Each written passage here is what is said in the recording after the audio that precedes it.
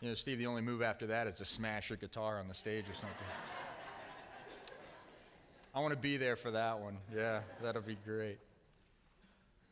My name is John Evans. In addition to being an elder here, I have the honor and privilege of uh, serving and supporting 400 chaplains who serve in jails and prisons around the world 25 countries, 22 states here in the U.S. Uh, organization has been in existence since 1961. It was founded in Fairfax County, and in Maryland, we have full time chaplains. Anne Arundel, PG, Montgomery, Carroll counties, close by, York, Pennsylvania, and Northern Virginia, we have them in Arlington, Fairfax, and Prince William. These are men and women who go in on a daily basis and minister to the spiritual needs of inmates um, here and abroad. And so it's uh, my honor to speak here during our Missions Week, an annual event. Um, we had a potluck last night, and I know potlucks are old school, right? So some of you grew up with potlucks, and most churches these days don't know how to do it, all right? So you go there and you're like, okay, well, there's some Kentucky Fried Chicken or um, uh, Royal Farms chicken, and you know, and you're just kind of in some pizza. No, this church still knows how to do it. So if you missed it, you missed it, right? Uh, Pastor Steve was bragging about his Peruvian pile of goo or whatever it was called that he had, and, and, he brought it, and um, everybody was looking for chicken, and he said, "No, that's peasant food, man. This has got beef in it." So, anyways. Um, you missed it. It is a little odd. I do have to admit, I told the first service, it's a little odd to eat uh, Chinese dumplings with baked beans, right? It doesn't really kind of go, but hey, if you weren't there, you missed it. So next time there's a potluck, I encourage you to show up. It's a good idea. Um, Steve mentioned that uh, this month we have a series of, of Sundays devoted to really launching points, starting points, and uh, with Missions Week, one of our launch point actions is uh, this card. They're back there on the table. There's about 87 different things to sign up for in the lobby this morning. So if you can find this, it's there. There are uh, cards for every one of our missionaries that we support their name, their uh, address, their uh, email, where they serve, what they do. And our challenge is for each family or individual to take one of these, commit to pray for these individuals for a period of a year, communicate with them, find out what they do, have them tell you about their ministry, get involved with them first through prayer. There may be other needs that you can meet.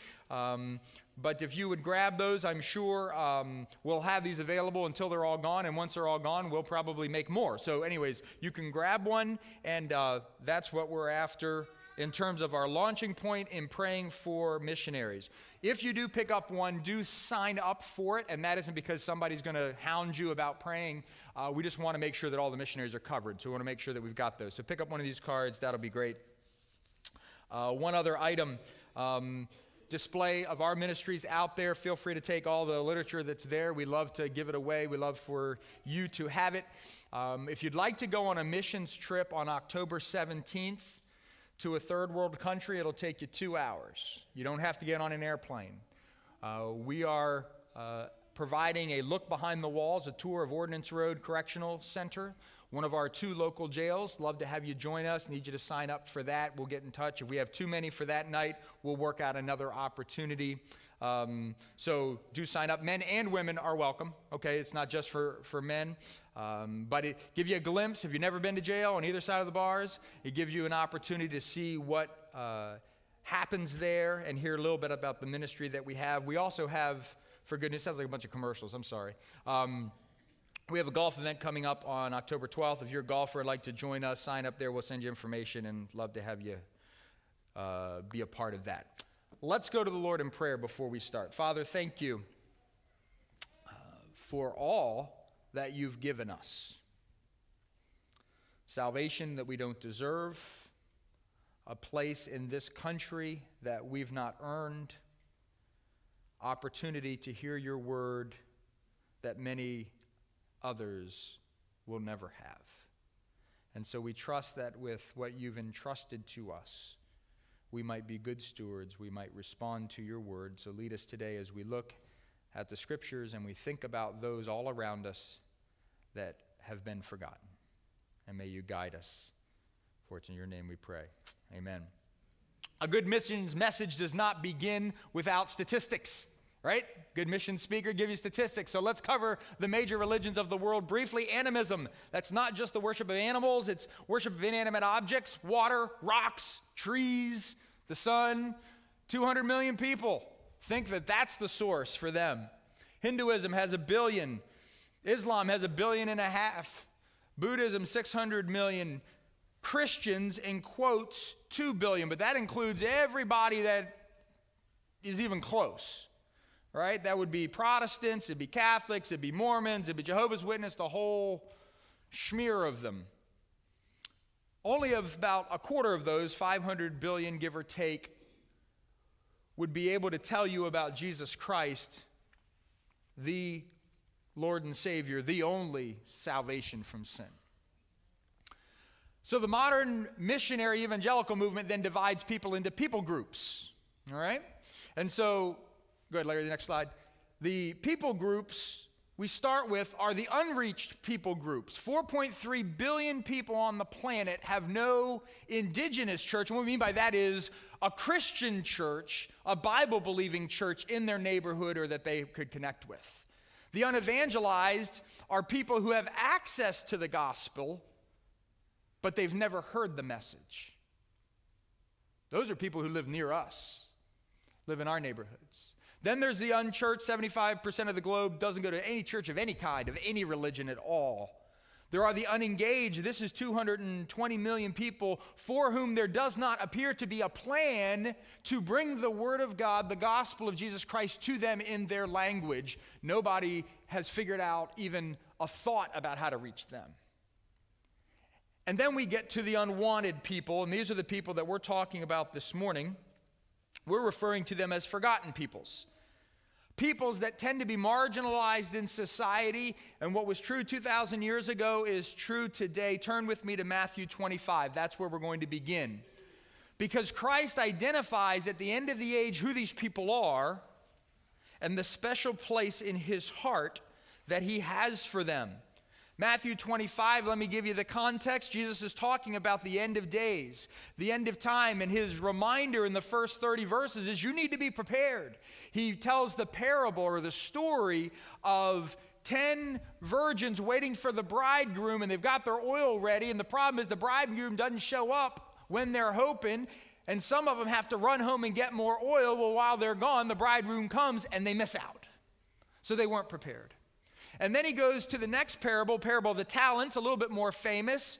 Rich man, he's got three servants, brings them in, says, going on a trip, give one guy five talents, one guy three talents, one guy one talent, and says, now go and do something with it. And when he comes back, he calls them in to account for what they've done with what he's given them. Listen to a message last week in the car where a preacher said that this is the biblical instruction to diversify your portfolio. And as Dave Cole might say, I don't think that means what you think it means. That is not what this verse is about. This passage about the talents is not about wealth management. It's about the reality that the Lord is going to return and He's going to look at us and say, What did you do with what I gave you, what I told you, what you knew, and what you had? It's about accountability. And the question will be will we be found faithful, not will we be found wealthy? So, Matthew 25, verse 31, we read, But when the Son of Man comes in his glory and all the angels with him, he will sit on his glorious throne. All the nations will be gathered before him. He will separate them from one another as the shepherd separates the sheep from the goats. And he will put the sheep on his right, the goats on his left. Then the king will say to those on his right, Come, you who are blessed of my Father, inherit the kingdom prepared for you from the foundation of the world. For I was hungry, you gave me something to eat. I was thirsty, you gave me something to drink. I was a stranger, you invited me in. Naked, you clothed me. Sick, you visited me. I was in prison, and you came to me. Then the righteous will answer him, Lord, when did we see you hungry and feed you, or thirsty and give you something to drink? When did we see you a stranger, invite you in, naked and clothe you? When did we see you sick or in prison and come to you? And the king will answer and say to them, Truly I say to you, to the extent that you did it to one of these my brethren, even the least of them, the forgotten, you did it to me. Verse 41, he continues, Then he will say to those on his left, These are the goats. Depart from me, accursed ones, into the eternal fire which has been prepared for the devil and his angels. For I was hungry, you gave me nothing to eat. I was thirsty, you gave me nothing to drink. A stranger, you did not invite me in. Naked, you did not clothe me. Sick and in prison, you did not visit me. And they themselves will answer, Lord, well, when did we see you, hungry, thirsty, stranger, naked, sick, or in prison, and not take care of you? And he will answer them, Truly I say to you, to the extent you did not do it to the least of these, you did not do it to me. So, recapping, the scene is before the throne of God, the judgment. All nations, it says in verse 32, will be there. They'll be separated. There'll be the goats and there'll be the sheep. That's it. Those are the only two groups. And the sheep are the believers, the people who've put their faith and trust in Christ, and the goats are everybody else. And the king says to the sheep, Come, blessed of my father, inherit the kingdom prepared for you. Here's your reward. But then he continues on. And he says, For I was hungry, verse 35, you gave me something to eat, thirsty, you gave me something to drink. I was a stranger, you invited me in naked, you clothed me, sick, you visited me, in prison, you came to me. Now, some might suggest in reading this passage that this is how the sheep earn their way to heaven, earn their way to salvation, right? You take care of the people in need, and then God will respond and He'll put you in heaven. But this is not the case. And the reason we know that is, first of all, that doesn't agree with Scripture. Titus 3 5 says, It's not by works of righteousness which we've done, but according to the mercy of God that we're saved. And then in Ephesians, he says it's salvation comes by grace alone, a gift of God, through faith alone, our response, in Christ alone, the perfect sacrifice. So that suggests that isn't what this verse means. And then we also note that it's interesting, the sheep are surprised, right? They're like, oh, really, Lord? This, this was important? Or it, isn't like they had a checklist of requirements that they were meeting, thinking that that was going to earn them salvation. Rather, it was a reflection of the faith that they had. And they asked, Lord, when did we see you like this? We don't remember seeing you in these conditions. And the king said, I, To the extent you did it to the least of these, my brothers, you did it unto me. These are the people the unwanted, the forgotten of the world, the people who hold, for some reason, a very special place in the heart of God. They're the hungry, the thirsty, the sick, the naked, the stranger, and the prisoner. And Jesus said, when you touch the lives of these people with these extreme needs, you are ministering to me, Jesus Christ, in a special way.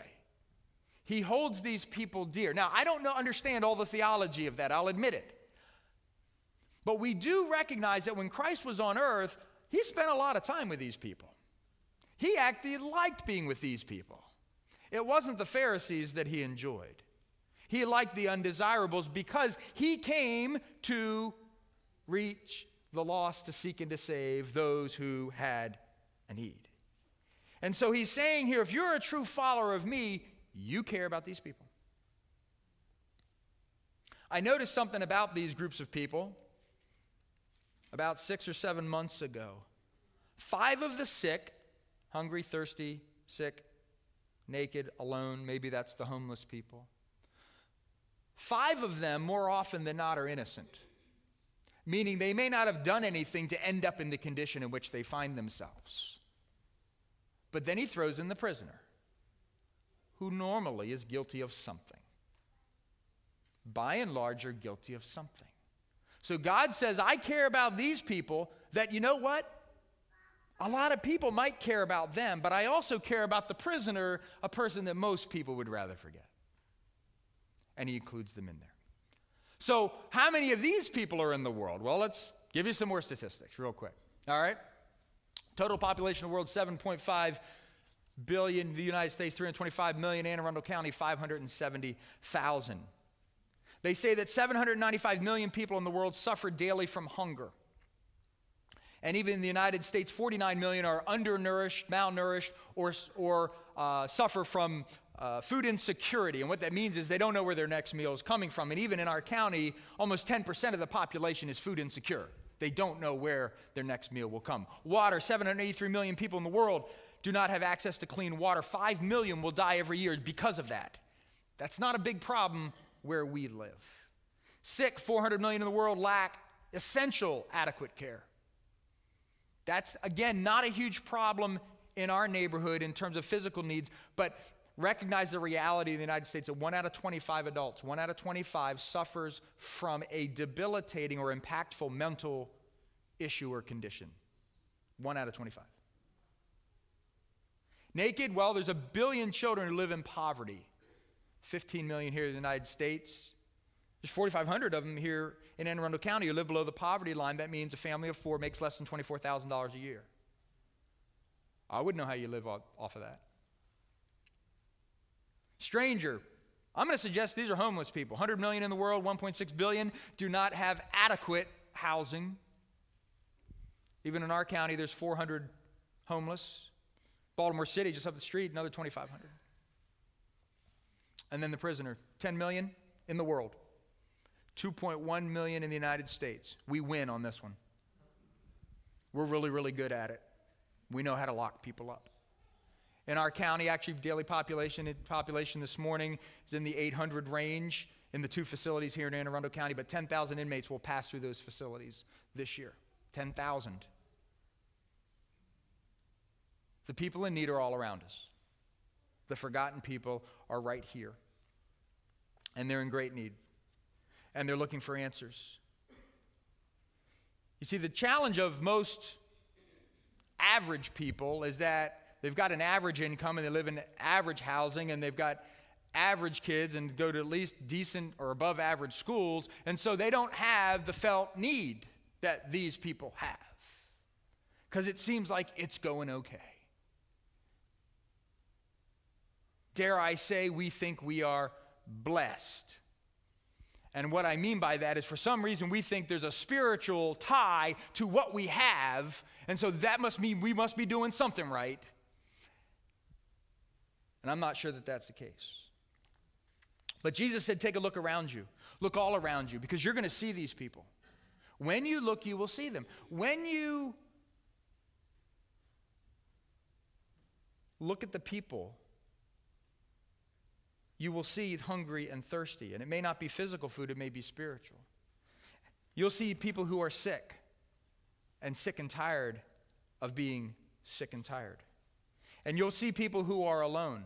And you'll see strangers and people who are homeless. And you'll see people sitting in jail. And you'll see people who have friends and relatives sitting in jail.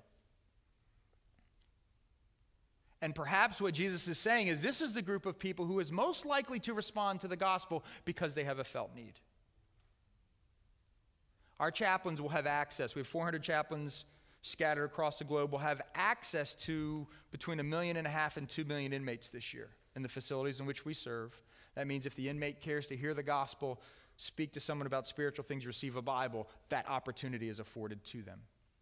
And as a result, we'll see somewhere between 40 and 60,000 inmates who will make a decision to put their faith and trust in Jesus Christ. And I've had people say, well, that's an amazing number. Over 2 million in the last 30 years.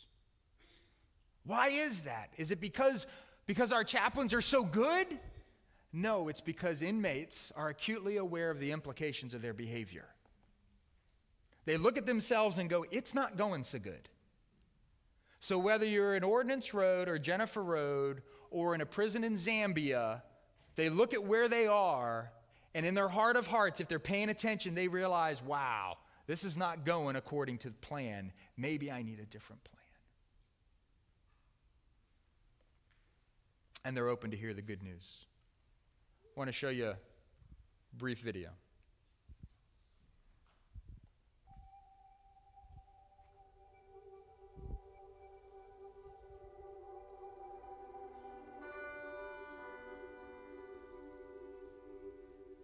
During the 1994 genocide, I lost 12 close family members. I learned how my sisters were killed. They were burnt alive. My cousins and my brothers they were beaten to death. We thought even God uh, had forgotten our country and our people. This is a man who has every right to be angry at the world, to be angry at God, but he decided that he would seek healing. When I was one day in prayer, I heard a, a voice telling me, if you want to keep serving me, you have to forgive those people uh, who have killed your people, the people who have made so many people orphans and widows. I, I couldn't forgive them. As we seek the Lord in prayer, He transforms our hearts, and we begin to see the world more as He does. I began to pray for those people. If you want to forgive someone, you just start praying for him. As you pray for him, you, you will feel uh, uh, mercy and forgiveness coming up in your heart. God gave Pius a passion for taking the truth to the prisoners of this country. And now he leads a ministry that has 11 chaplains working in 11 different prisons.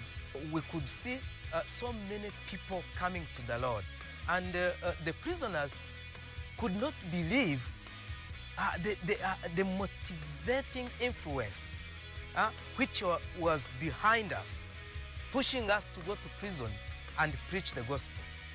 They've led thousands of people to a life changing connection with Jesus. And it happened because Pius was obedient to the call that God gave him for his life. Forgotten people matter to God.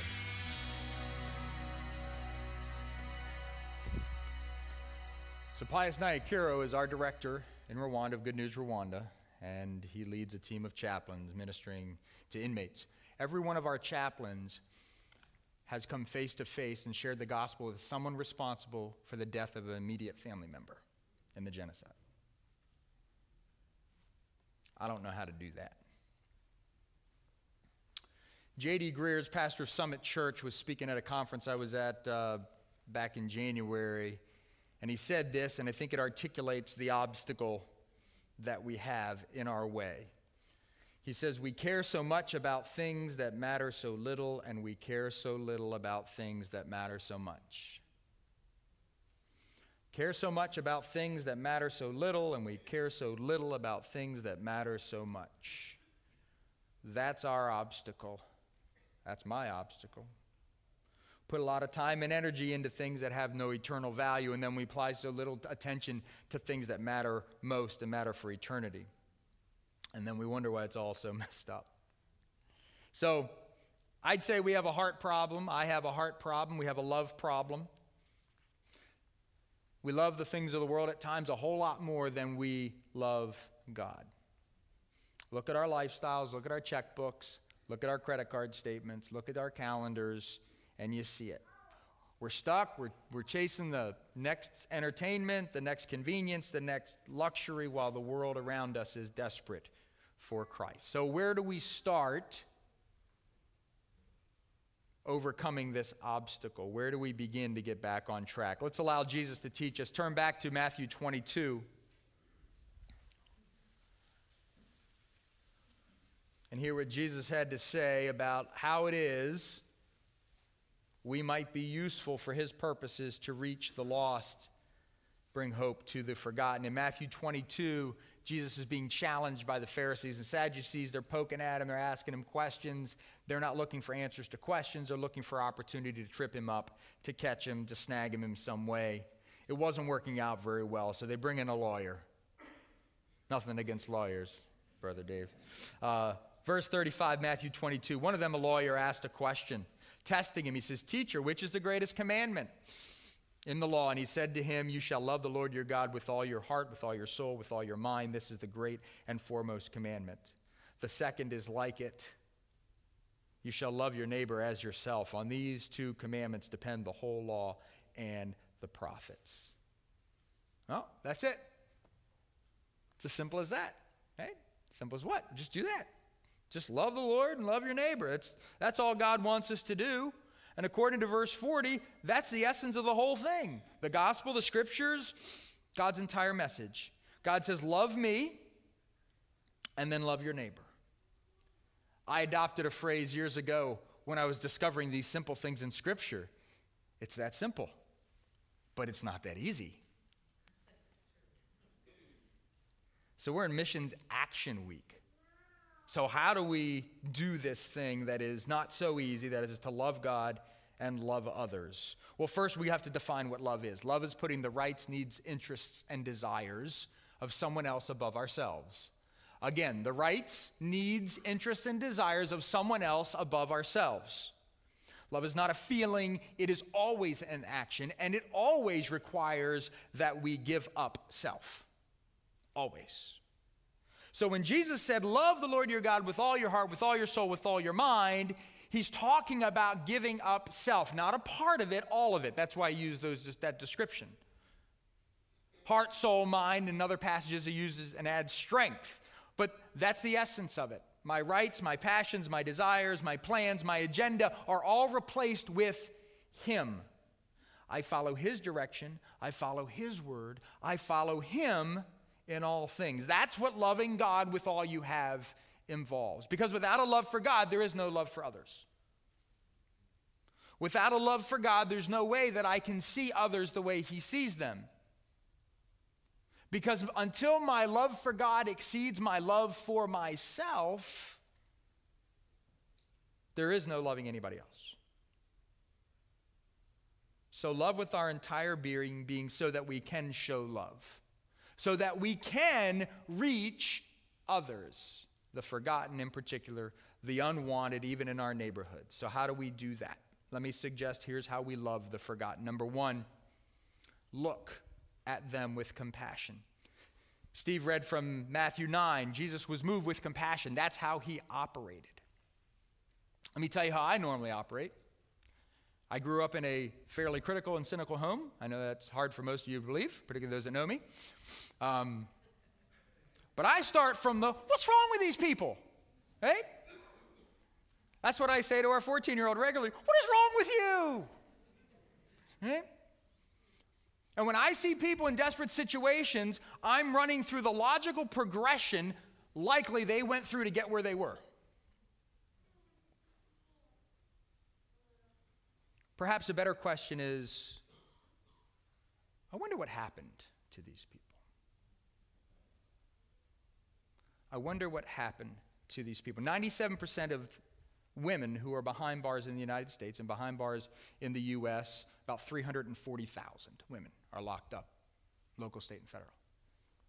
97% of them have been physically or sexually traumatized and abused. 97%. So we're learning to ask the question what happened to this person? It doesn't justify the behavior, but it'll explain a lot.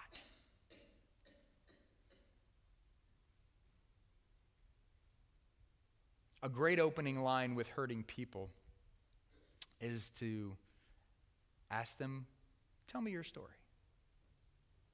And you'd be amazed at what kind of floodgates that'll open. Everybody has a story.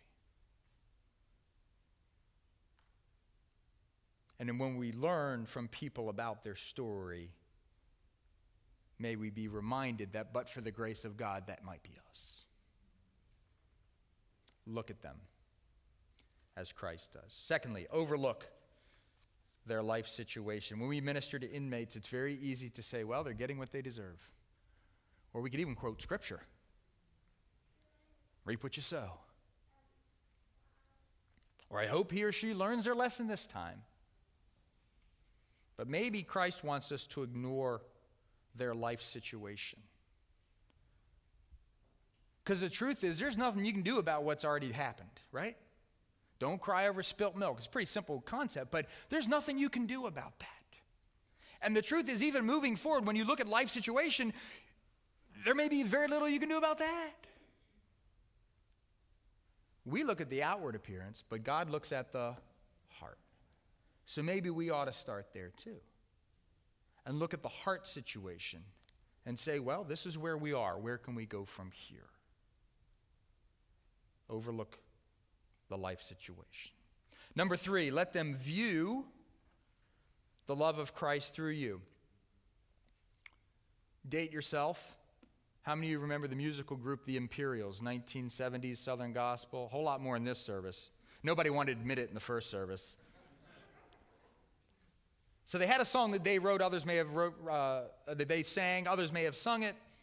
Don't know who wrote it. Called You're the Only Jesus. And these are the words to the song. It says, You're the only Jesus some will ever see. You're the only words of life some will ever read. So let them see in you the one in whom is all they'll ever need. Because you're the only Jesus some will ever see. And if not you, I wonder who will show them love. And love alone, can make things new. If not from you, how will they learn? Let them view the love of Christ through us. And finally, think eternally. If we were to go back to Matthew 25 and look at verse 41, we'll see that the judgment is real, that hell is real. Jesus isn't just painting a nice story that says, you know, there's nice people in the world and not so nice people in the world. No, he says there's a truth to judgment. There's going to be the, the believer and the unbeliever. And the believer, he will say, enter into my heaven. And to everybody else, he will say, separation, the consequences of sin. There are no second chances, there are no do overs once this life has ended. And we have the answer. If we're followers of Christ, we have the answer.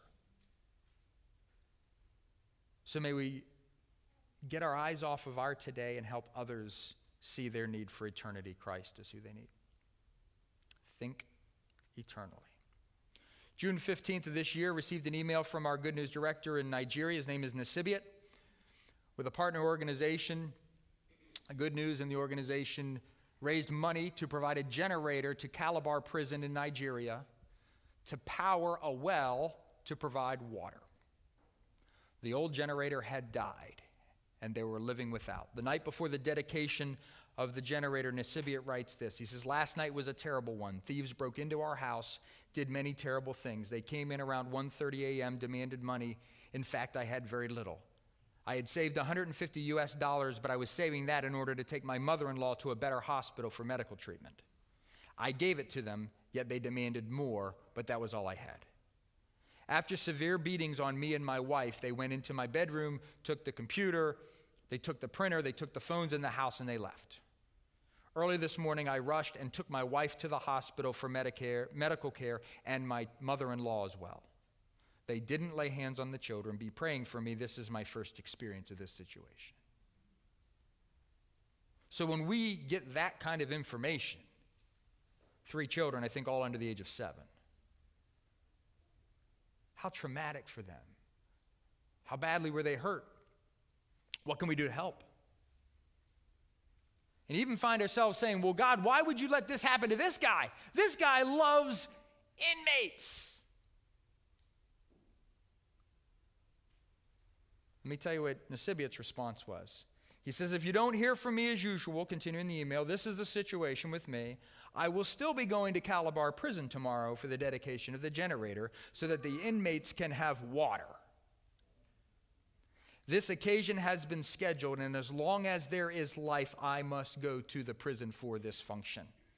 Keep me and my family in your prayers, please, Nasibiat. Why would he do that?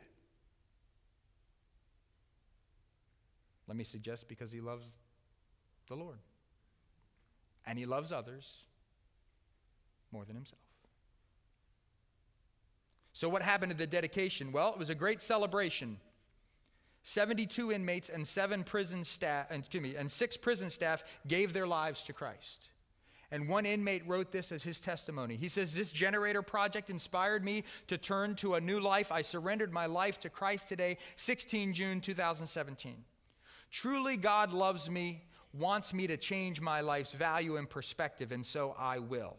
May God bless the man who willingly allowed himself to be used by God to carry away the problem, water, that we have been suffering through. In a minute, I'm going to pray. When I'm done praying, we're going to show you another testimony of another inmate. When that video is complete, you'll be free to go.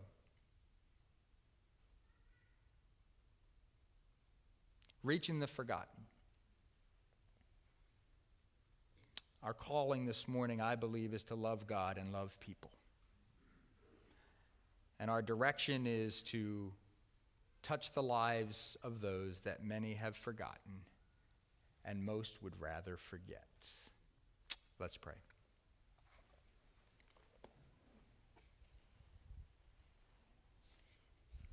Father, we trust that you'll open our eyes Help us to see those around us in need.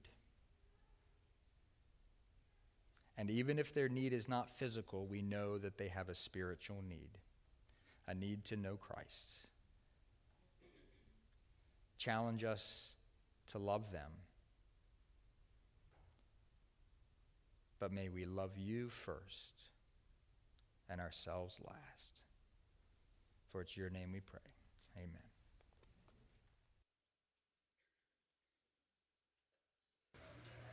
After 60 days of being in here, the state elevated my first degree charge to capital murder. I was now facing the death penalty.